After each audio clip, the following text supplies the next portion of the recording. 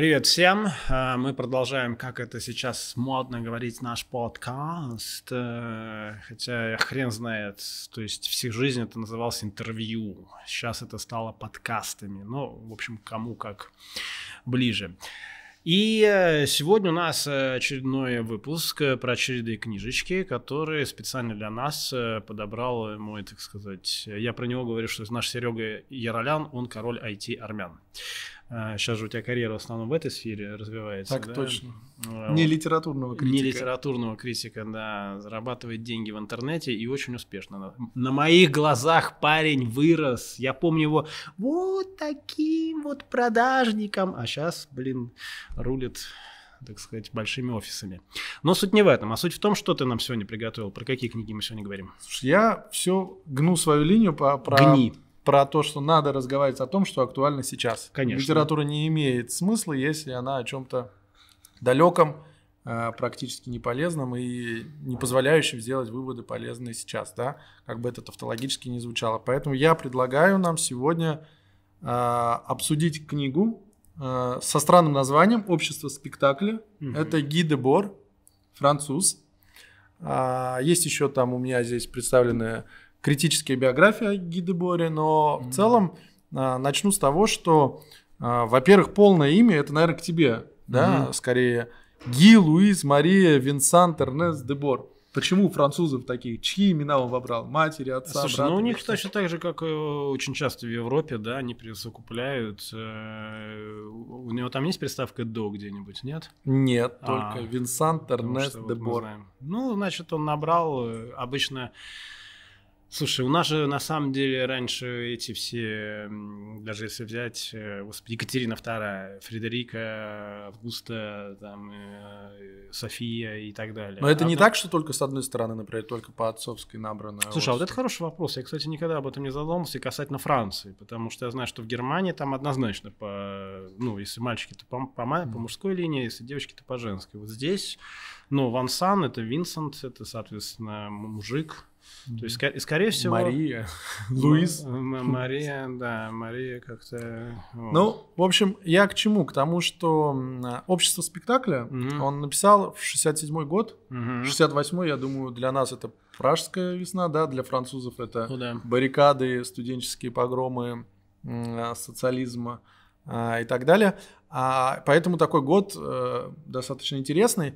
И в целом плеяда французов Камю, Фуко, Сартер, Дебор и так далее очень интересные для анализа. А, Так же, как у нас там шестидесятники в искусстве, там вот типа как мыслители, да, такая плеяда, волна целая.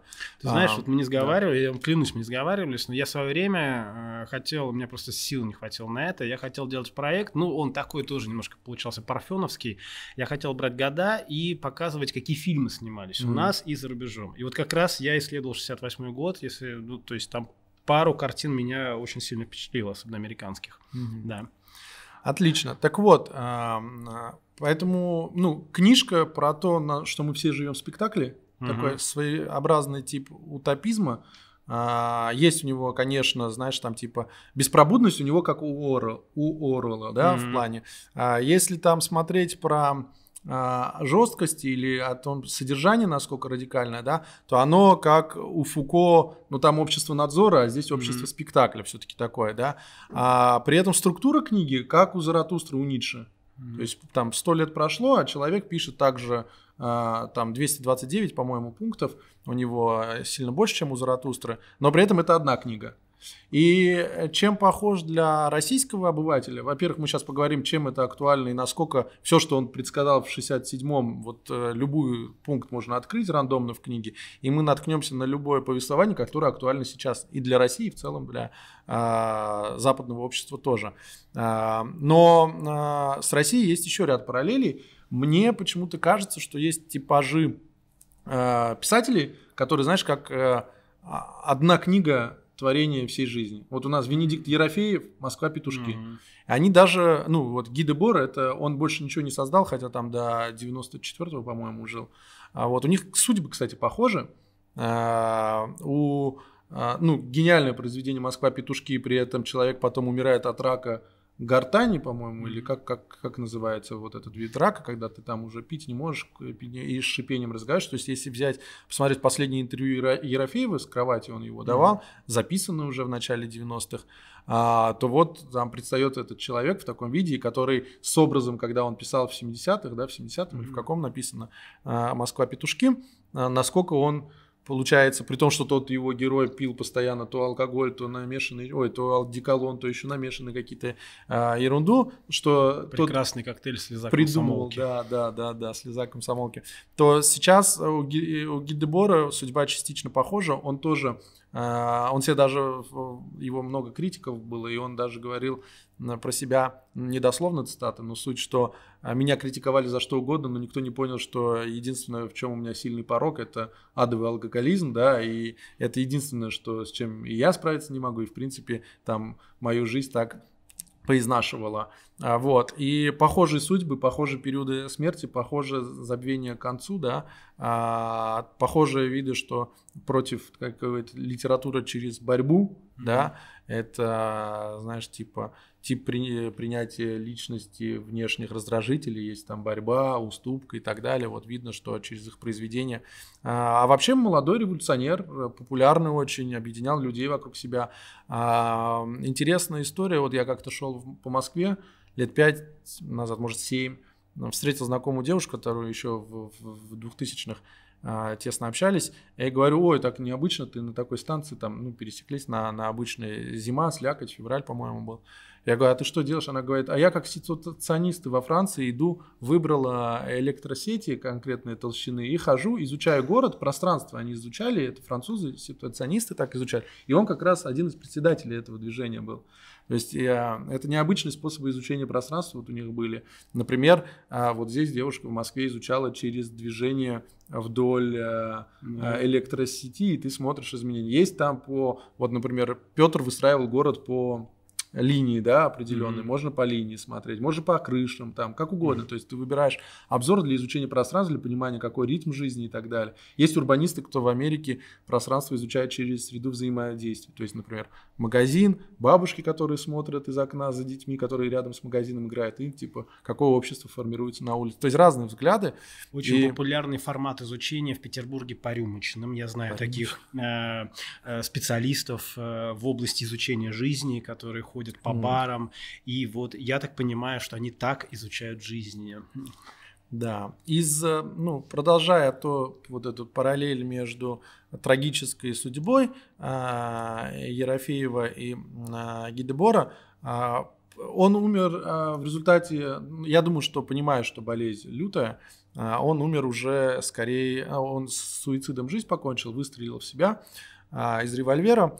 Э, при этом а по, по факту он таким актом сказал, что против чего он боролся, его поработило. То есть mm-hmm. общество, спектакля, он сам стал элементом этого спектакля. И это тоже опять нам либо задуматься, что одиночный воин не воин, да, либо наоборот, что а, я воевал-воевал, и вот типа сам заканчиваю актом, который лишний раз подчеркивает, что мы все равно все в спектакле. Да, он говорил такие фразы про общество спектакля превратило восстание против себя в спектакль. То есть зацикленность ну, да, такого да. спектакля, да, и да. его в этой смерти определенное есть что-то, а, да. А, значит, ну, на, на, можно начать там с любого тезиса, но прям даже самый первый является очень понятно, что он там на, в период восстания себя не так сильно проявил. Хотя до этого потенция у них была а, сильно с разных стран.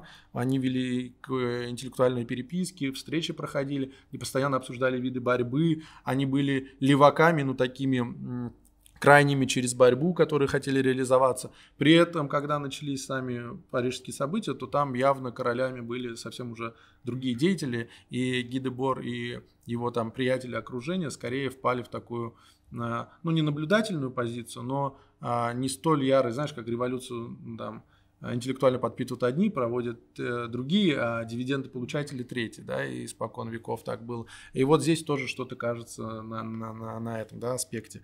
Но вот из интересного, первый же пункт, э, да, кстати, я сказал, что похоже на э, Заратустру, у Ницше по тезисам, но по факту еще и у, у Маркса, да, э, тоже э, Фейербах, да, тоже по пунктам шел, поэтому в целом сто лет после Маркса И это такой популяризатор Маркса на современный лад для того времени. Mm-hmm. А, в чем-то у них с позиции сходились, в чем-то он наоборот доказывал, что капитализм на, на, настолько жуткий и так далее. В принципе, ты, если кон, э, очень важную литературу, читать ее в контексте, да, вот книга, которая актуальна сейчас, написана в контексте, когда, например, Сартер отказывался до этого за несколько лет от Нобелевской премии, да, потому что она политизирована. То есть мы, когда сейчас смотрим, например, э, там Муратову дают премию, и что он говорит? Она достаточно в степени антироссийская речь у него. Он не говорит там про Ассанжа, да, он не говорит про Сноудена. Он говорит в основном про все, что связано с Россией. В принципе, Пастернак, да, помнишь, отказывался mm-hmm. тоже от премии, но понятно, что там политическая воля на это была высокая, и сын Пастернака рассказывает, что они хотели принять и радовались, когда эту новость получили, но потом mm-hmm. газеты кишили ядом, и они от этого всего а, от, отказались, понятно. Но я к тому, что а, вот ну, в западной культуре социалисты и леваки, в принципе, от капиталистических каких-то историй позитивных моментов готовы отказываться, ущерб там вот такой целостный, гармоничного развития и прочее, прочее, да. Ну вот, э, давай вот первый уже прочитаем, да. В обществах, достигших современного условия развития производства, вся жизнь проявляется как огромное нагромождение спектаклей.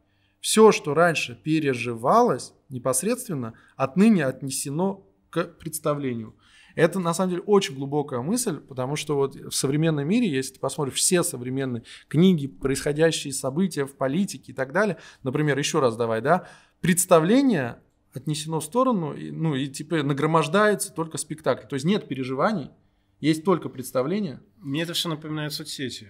Да, да, соцсети. Вот э, фильм вот на Netflix вышел, не знаю, успел посмотреть или нет, Don't Look Up с Ди Каприо, с нет, еще, Флип, нет, там, нет, ну, типа, еще не видел. когорта просто героев. Нет. Мега взрывная сатира на то, что ученые кудахчут, их не слышит э, там президент страны самый экономически мощный, а при этом есть хайп э, технологический, который там бренды хотят с помощью рекламы и пиара сделать что-то свое. Кстати, про рекламу, про плагиат, про масс-медиа, у него тоже борьба с, с этим во всем в книге представлены, отдельные пункты прям посвящены этому. Как звезды являются пролонгацией спектаклей, и что такое звезда на самом деле, да, то, то есть вот это там. А, и фильм, а, вышедший там, не знаю, в конце 21 года, является полностью подтверждением спектакля, о котором и общества, о котором пишет человек в 67 mm-hmm. году. А, двухчасовая сатира взрывает просто сейчас интернет и совету, она чуть затянута, но суть э, того, mm-hmm. что а, люди не могут вообще договориться, что делать, летит астероид на Землю, каждый занят своим. Ток-шоу пиарятся за счет там, mm-hmm. ученые кудахчут что-то. Кстати, про ученые кудахчут а, тоже забавно, а, что, ну вот, типа, нагромождение спектаклей какое большое, да, а, вот... А, Недавно вышел э, альбом новый Noise MC, который достаточно mm-hmm. политизирован сейчас тоже в России. И в нем есть строчки там Жить птицами в метро, чирикать в вестибюле и биться о стекло декабрь от июля не в силах от, отличить. Но по факту так и есть. Когда мы живем в пространстве спектакля, когда нам навязаны ценности, когда нам Инстаграм кишит там типа стандартами жизни, а, когда капитализм через это, да, там проявляет, что типа массовое потребление, mm-hmm. потреблятство, да, вот это развивается, то у нас и нету времени отличить декабрь от июля. И метро это как раз пространство, где ты даже и наверх посмотреть не можешь, потому что неба нет, и ты реально не отличишь. То есть, ну, то есть по, по курткам. курткам, да, но это по людям, да. А вот, и ничего не остается, как биться о стекло. И на самом деле, получается, там, не знаю, а, рэпер пишет песни в России, актуальные для сегодняшнего дня, они полностью соответствуют обществу спектакля. Американский Netflix, самая там крупная корпорация сейчас в плане кинопроизводства и, скорее всего, обгонит и Голливуд, да, по стримингу вещания вообще есть, кстати, интересно очень тоже книга про а, саму культуру Netflix, как они это добиваются, тоже можем как-то посмотреть, если бизнес-литература там твоим подписчикам будет интересно, можем, в принципе, и такое тоже рассмотреть. Очень прикольный стандарт, и как за счет чего Netflix таким становится популярным в разных странах, потому что культурный код-то разный, mm-hmm. и производство контента разное. Ну, покупка есть, фильма «Брат», мне кажется, прекрасный ответ на этот вопрос. Вот, соответственно... Я имею в виду прав на фильм «Брат». На фильм «Брат». Да, про, ну и, и как будто мы никуда не ушли от общества спектакля, и мы живем в нем. И, например, э, знаешь, э, как бы есть политические какие-то истории проводить, э, частично власть хорошо умеет этой повесткой тоже управлять. Мне кажется, это даже на руку. Вот у нас традиционно там тебя часто обвиняют, ты там прозападный или mm-hmm. российско ориентированный. по факту без разницы, потому что это вопрос, кто как оседлает повестку. Например, да. ну, есть там, например, Навальный и Путин, предположим. Да, суть в том, что пока мы обсуждаем, не знаю, трусы Навального, какие-то законы принимаются. И может быть шум вокруг трусов выгоден власти, да, или наоборот, там, не знаю, идет чемпионат мира по футболу, проводится пенсионная реформа. И, соответственно, мы живем в спектакле и потребляем контент. Нам говорят, вот, смотрите, там, не знаю, расследование против дворцов. На самом деле нам дают какую-то картинку, мы в это питаемся. Неважно, это на произвол Навальный или не Навальный. Мы живем чужой повесткой, которая задается. Да, да, Матвейчев такой тоже э, писатель, сейчас, по-моему, достаточно политизированный, политтехнолог, даже депутат, наверное, или кто-то там еще в, в, во времена, когда философию изучал, он говорил о том, что всем управляет повестка, да, это западная литература об этом говорит. Надо задавать повестку и успевать в эту повестку вбрасывать. То есть, по идее, Россия может на международной арене задавать какие-то темы важные там. А, ну, сейчас какие повестки у нас? Экологический, экологизм, там, глобальное потепление. Ну, в журналистике это да. называется инфоповод. Инфоповоды, да, да. Соответственно, вот э, актуальность э, литературы такой, чем хороша, а, что Например, ты смотришь другое произведение, там «Игры в кальмарах», видел? Mm, нет, да, тоже да, Нет, это, это я посмотрел. Ну вот успел, я, да? Я даже купил костюм, все хочу в нем провести экскурсию, пока не придумал, как это все подверстать. Вот, ну и, соответственно, тоже, представляешь, да, есть люди, готовые платить деньги, если мы говорим там, не прийти на шоу бокс посмотреть, ММА посмотреть, рестлинг посмотреть, да, а готовые прийти посмотреть на шоу, как другие выживают. Mm. Это же тоже спектакль своеобразный. Но и то есть же, потребление кажется, настолько да, развито. это же еще, ну, господи, с римских времен, вот, mm. шоу гладиаторов, что. Да. А, вот по поводу развлечений, у него тоже есть очень хорошая цитата, что развлечение становится пролонгацией труда в условиях позднего капитализма. Mm-hmm. И, э, ну, там, наши подписки на ОК хотим зрелища покупаем подписку, следим, но мы становимся аморфными потребителями. Мы не генерим контент в этот момент, да? Мы просто потребляем контент. И вообще, в принципе, общество, а, у него было два типа общества разделенных. Капиталистическое являлось такое а, распрысканное, да, а, такое диффузированно и наоборот концентрированный спектакль. Это в, в таких странах, как Китай, Советский Союз, он приводил пример, что там тоже спектакль, это mm-hmm. тот же подвид спектакля, у нас же постоянное противостояние, а, там типа мы Запад mm-hmm. и там не знаю славянофилы внутри страны mm-hmm. и а, западники там, а по факту он говорит, что по факту спектакль один и тот же. Просто и после падения Берлинской стены он, он уже писал комментарии в 87 году, дополнительный комментарий книги, не потерявшей актуальность через 20 лет. И там уже описывал э, вещи, которые поднабрались фактологически. И он уже предсказывал, что скоро будет скорее интегрированный спектакль. То есть раньше был типа один вид жесткий, там, например, в, в, в, коммунистических странах, mm-hmm. и такой а-ля лайт, но по факту все на потреблении построено в капитализме, а сейчас станет такой смешанный. И реально, если мы посмотрим, Китай перестроился. Капитализм есть, есть, но при этом продолжается там типа железная mm-hmm. рука. Ну, то есть человек вообще, ну, у него много критиков, можно и критиков отдельно почитать, но по факту большинство вещей, о которых он говорил, или там, например, у него есть про роль выбора телевизора и автомобиля, все выбирается по указке спектакля. И это условие изоляции одиноких толп мы реально являемся одинокими толпами, особенно в период ковида. Мы вроде на связи через Zoom, смотрят YouTube, да, у тебя подписчики, а, мы гуглим какую-то информацию, но при этом мы одинокие, ну, социальные контакты уменьшаются за счет сидения, за счет масок, за счет там mm-hmm. невозможности собираться. И мы просто делаем то, что от нас спектакль хочет. Например, там типа растет доставка, а не обычный ритейл. А, не знаю, потребление контента не в, в массовых там, ну, а не на масленице, а да, да, а стриминг там и так mm далее, да.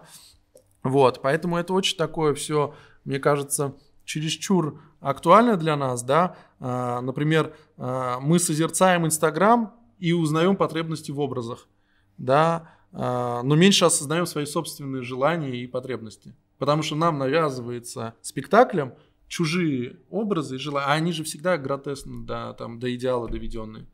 А, я думаю, что восточные культуры это очень отчетливо понимают, потому что если ты посмотришь, как а, японцы, например, фанатели в свое время от Тату или от Бритни Спирс, uh-huh, uh-huh. да в целом там типа вот если ты спортивные холдинги возьмешь, они все хотят выйти на Китай.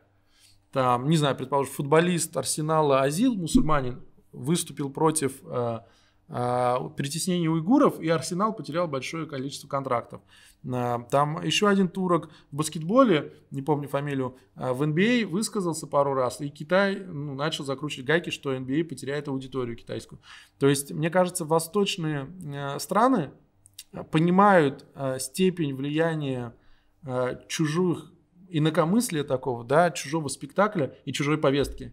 И если они дают этой повестке у себя в стране разыграться, то Э, кто управляет этими идеями, тот и управляет этими нациями, да. И я думаю, что вот э, э, сейчас вот в, в инфополе и firewall и прочее, это способ как раз не давать э, спектаклю, неважно каком он, чисто капиталистический, интегрированный или еще как-то влиять на ряд э, населения стран, да, а вот. Про изобилие тоже интересные рассуждения у него есть а, о том, что но это тоже еще вереница от Маркса тянется, чей труд, кому прибавочная стоимость mm-hmm. труда и так далее. То есть можно сначала капитал почитать, потом уже и mm-hmm. Дебора, но по факту э, очень интересно про изобилие. Ну, я все буду на современный лад прикладывать. Вот э, условно, э, ты идешь по торговому центру, хочешь кроссовки. Ты одни посмотрел, вторые, там купил третьи предположим, ну все потратил там час-два, кто-то вообще устает и сутками, да, шопится, есть же болезнь уже даже вот с mm-hmm. этим шопингом связана, а, не помню ее научное название, ну, там, не знаю, у моей, у моей мамы точно она есть, например, представлена, да,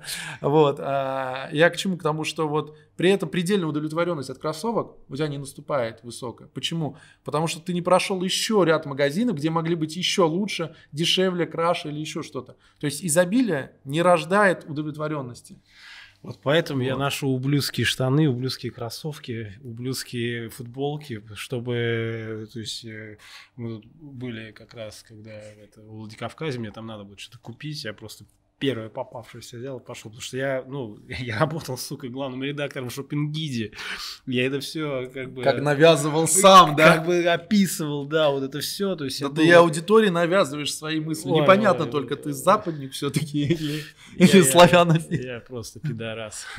Э, не, ну я к тому, что действительно вот э, этот период, когда я в Москве работал, я, у меня, это моя личная история, я уволился из очень большого угу. крупного журнала с офигенной зарплатой, с потрясающими перспективами, где меня, в принципе, все любили, э, ну и как бы вот, э, потому что я понял, что я начинаю превращаться в гламурного менеджера. То есть я вдруг начинаю как бы ценить костюм, который нам надет, какой, какая там бирка на эту. То есть я, я просто это понял. Вовлекся то, чем... Да, и вот мне надо было вовремя это соскочить, и я сначала уволился, а потом вернулся в Питер обратно вот к, этому, к этому дерьму, да, потому что, ну, ну это я очень уважаю стильных людей, и, в принципе, на какие-то там свои, свои собственные мероприятия там и прочее, там я стараюсь какой-то стиль навести, но одни эти ирокезы что стоят. Но в обыденной жизни я вот, вот это вот все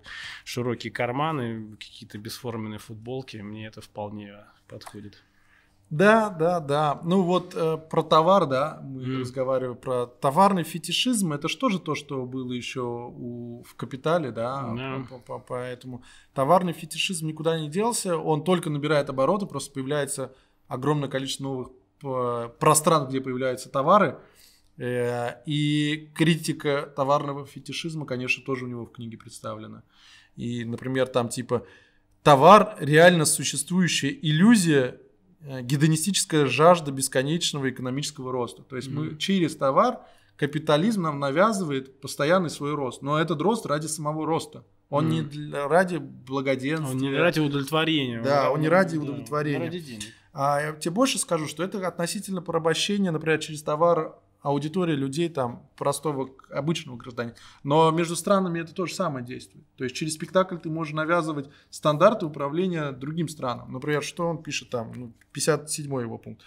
Общество, носитель спектакля, господствует над слабо развитыми регионами не только с помощью экономической гегемонии, но и в качестве общества спектакля – Современное общество в облике спектакля захватило уже все континенты. Спектакль раскинул свои тенета даже там, где еще отсутствует должная материальная база. Общество спектакля диктует программу правящему классу и участвует в ее формировании.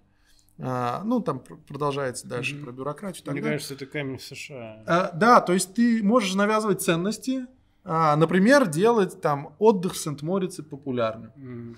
Или хранить деньги, не знаю, Назарбаеву в Лондоне, там, через дочерей и так далее. А, делать там, не знаю, модным приобретение яхт. То есть ты навязываешь ложные или даже не ложные, не знаю, какой-то вид э, спектакля, который там, типа, содержание этого спектакля, там, типа, вхожесть в какие-то круга через богатство. И ты навязываешь эту ценность, с помощью этой ценности ты управляешь над слаборазвитыми регионами. Все, то есть конструкция достаточно такая из типичной разделяй и властвуй. Просто не на уровне того, что тебе не надо обязательно порабощать эти страны.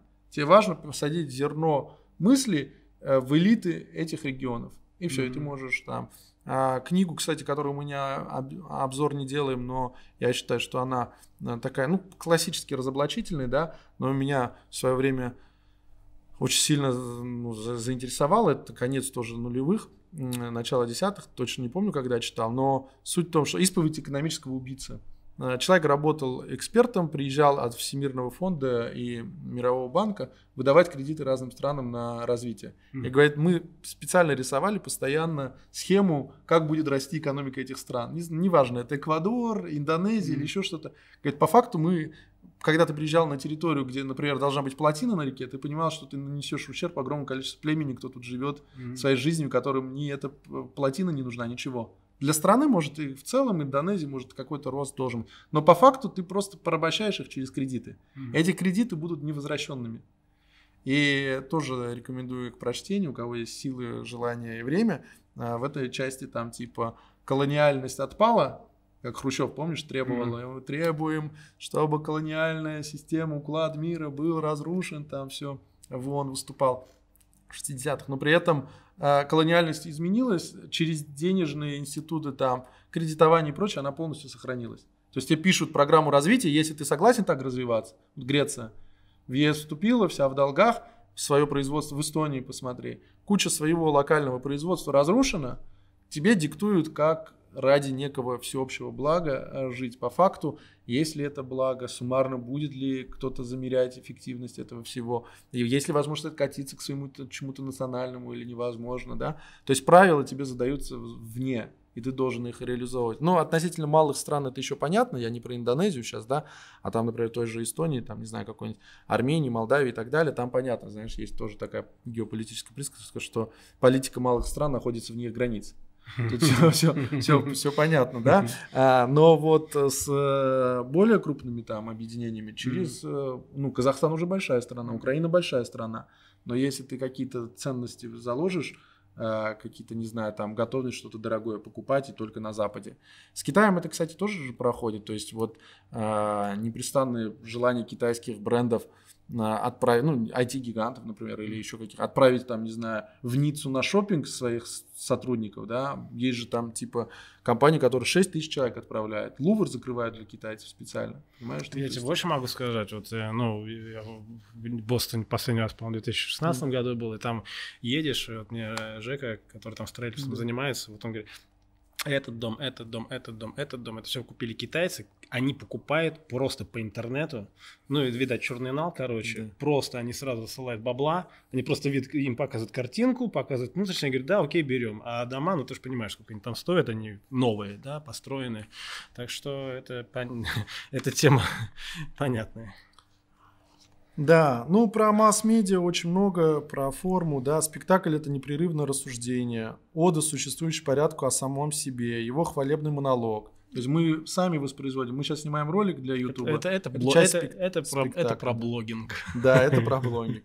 Это автопортрет власти в эпоху тоталитарного управления условиями существования. То есть у кого-то есть э, условия существования, и оно диктует через спектакль, как, э, соответственно, тотально управлять, ну, рисует автопортрет самого себя. Да, то есть, ну, вот и, и чем мне нравится, опять задел, да, чем э, мне нравится, что, ну, открываем любую э, страницу и достаточно интересно, все там актуально на сегодняшний день. Все, все, кто занят э, показной борьбой в рамках спектакля, объединены нищетой. Ну, гениально же, то есть э, не могут бороться Ну, против равенство в нищете, Да, да, да, да. За маской тотального потребления могут скрываться различные формы одного и того же отчуждения. Все они построены на зыбком грунте реальных противоречий. То есть по факту, а, чем больше человек начинает потреблять товаров, которые навешаны ему спигна, тем больше он отчуждается на самом деле от других людей.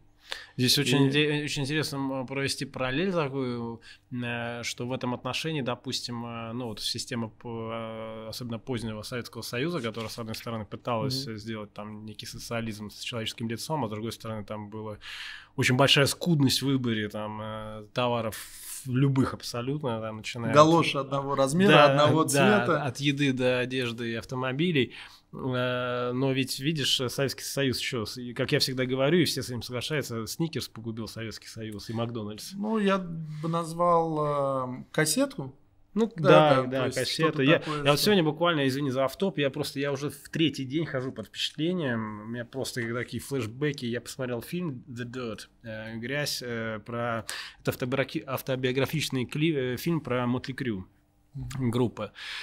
Ну, блин, я сразу пересмотрел все их там концерты, топовые клипы и так далее, и я вот хожу с мыслью, которая мне не дает покоя, что, ну, они там все, естественно, по наркоте и прочее, и вот ты думаешь о том, что, с одной стороны, образ жизни, который они вели, абсолютно, ну, дегра... деградированный, там, Томми Ли, барабанщик, чего творял и прочее, а с другой стороны... Реальные герои Венедикта. А, а, а реаль, да, а с другой стороны, во-первых, такие кочевые треки остались, и, э, ну, они легенды реально, без базара, то есть четыре человека человека, который до сих пор там держит э, большую аудиторию за яйца. Сейчас они, конечно, не играют и прочее. И вот ты постоянно как бы думаешь о том, что они-то как раз очень сильно навязывали, ну, то есть э, обществу, то есть они как бы вот, они выше, вот мы такие, типа, э, кушайте нас, и все кушали. Но ведь это всем было в кайф. Вот, вот, вот в чем прикол. И вот как вот с этим быть? Ну вот смотри, ответ открываем, да. не знаю, пункт про искусство. Да. Э, искусство, став самостоятельным, mm-hmm. вот произведение, неважно, это mm-hmm. художественное или там музыкальное творчество, или кинематограф. Искусство, став самостоятельным, изображает свой мир исключительно в ярких красках. Яркие эмоции, там, типа, отторжение, там, вот это, не знаю, mm-hmm. будь то грязь, будь то депрессуха mm-hmm. и так далее, то, что обычно к творчеству отправляют, да. Но одновременно с этим сама жизнь начинает тускнеть. Mm-hmm. То есть ты, типа, уходишь в искусство, потому что там можешь яркости добавить. А жить, почему ты это делаешь? Потому что жизнь тускнеет. Искусство, став, самосто... став самостоятельным, изображает свой мир исключительно в ярких красках. Но одновременно с этим сама жизнь начинает тускнеть. И ее уже нельзя омолодить ничем. В лучшем случае ее можно вызвать воспоминания. Так величие искусства начинает проявляться лишь при полном упадке жизни. То есть чем ярче мы запоминаем какой-нибудь период э, через искусство, через творчество, на самом деле там какой-то есть упадок, социальный, общественный, еще какой-то, который, ну, как бы, как рефреном а, а, как-то должно выражение быть. А, я думаю, это и личности отдельных касается, которые выжигают себя, сгорают mm-hmm. или еще что-то. Например, суровая какая-то жизнь или личные какие-то вещи влияют там не на Цоя, и на Высоцкого, что mm-hmm. они напалмом свою жизнь как бы там или да, тот же брат 2 ты вспоминал, ну вот mm-hmm. туда же, да. Mm-hmm. То есть, типа, яркие, молодые, или Лермонтов, там, Пушкин, да, то есть постоянно там на, на, на, нарываться или еще что-то, это вид реализации себя как невозможности там пассивным быть, потому что из тебя что-то там, а вот работали бы на заводах, понимаешь, стояли бы у да, станков, и все бы да. было нормально. На заводы всем надо идти работать, и не будет никаких вот этих страданий, блогеров, вот этих подкастов и всех этих пидорасов, вот этих всех просто. Ну, в плане энергии у тебя, да, действительно, у самого ее дофига за счет того, что... А, соответственно, давай а, уже долго по кругу не ходить. Про социологию у него есть, про идеи, идеологизацию – контент, плагиат, реклама, пропаганда, очень много есть. Соответственно, про товарные фетишизации уже тоже поговорили. Давай традиционно скорее будем скатываться к тому, что... Давай, ска... давай куда-нибудь, скатимся. давай уже скатимся куда-нибудь в какой-нибудь... Что он сам говорил о себе, например, или в целом, да, какой-нибудь интересный его цитату, и, и что о нем говорили. Mm-hmm. А, а, Начнем с того, что очень часто традиционно любого мыслителя говорят философ, философ. Mm-hmm. И э, он говорил, я не философ, я стратег. Серега, а ты кто, философ или стратег? А, а я армянин. Понимаешь, а идентификация это очень ситуативная вещь, знаешь, такая типа, а самоидентификация тем более. У нас у всех есть несколько идентификаций, и ты воспринимаешь, когда там ситуативно произвести. Например, один и тот же человек может быть афроамериканцем и профессором. И если он в кругу, не знаю, преподавателей находится, он представится профессором. Но если он дома э, и разговаривает по скайпу со, со своими родственниками из Кении, например, он, скорее всего, не будет представляться профессором, да? А, и это очень тоже интересная история, что идентификация очень сильно развита, что она ситуативна. То есть в зависимости от обстановки наш мозг анализирует и такой, надо выдать там какой-то вид э, идентификации. Вот. А почему стратег и почему это такая сильная мысль, мне кажется, короткая, лаконичная, сильная мысль человека, который жизнь на борьбу положил. А, потому что стратегия против, э, ну, должна быть стратегия, с помощью которой разрушается то, о чем он пишет, то самое общество спектакля, те дисбалансы, которые есть в капитализме, а, ту там главенствующую роль США, институтов, которые там, не знаю, товарную фетишизации и прочего-прочего, да, про бренды, которые он там описывает – и в своих дополнительных комментариях он это очень сильно...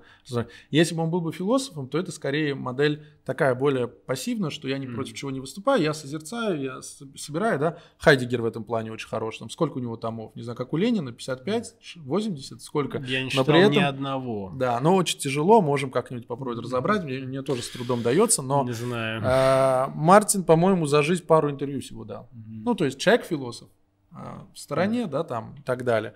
А, ну, кстати, философ философ Урос, там если Бертрана Рассела взять, ну, да, философ нет, сильный, да, конечно, популяризатор да. сильный. Вот.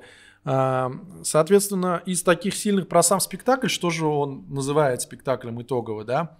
Спектакль – это не что иное, как символ универсального счастья посреди запустынивания и страха, призванного умиротворять страдания. По факту мы все страдаем, мы все в страхе, мы вокруг у нас запустынивание – ковид прям активизирует, ак, акцептует все эти пункты mm-hmm.